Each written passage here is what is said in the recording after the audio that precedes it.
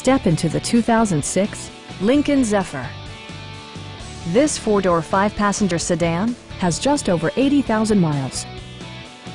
It features a front-wheel drive platform, an automatic transmission, and a 3-liter six-cylinder engine. All of the premium features expected of a Lincoln are offered, including front and rear cup holders, speed-sensitive wipers, a built-in garage door transmitter, a power seat, an outside temperature display, front fog lights, and remote keyless entry. Everything is where it ought to be, from the dashboard controls to the door locks and window controls. Lincoln also prioritized safety and security by including front side impact airbags, traction control, a security system, and four-wheel disc brakes with ABS.